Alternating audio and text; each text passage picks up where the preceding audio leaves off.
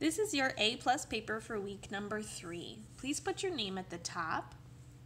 And today, we know the spelling sound correspondence for common consonant digraphs. So our digraphs today are WH, TH, CH, and SH. So let's do the phonics dance for these.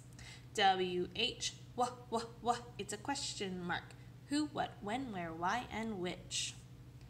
Thumbs up, thumbs up, TH, C H ch C H ch S H sh S H sh. So you're going to use each of those digraphs one time down here to complete the word. So which one would go at the beginning of sheep? Write the letters on the line. Which one would go at the beginning of chicken? Write the letters on the line. Which one would go in the beginning of Thanksgiving? Write it down the line. And which one would go on the beginning of whale? Write it down the line. When you're all done, please turn it in.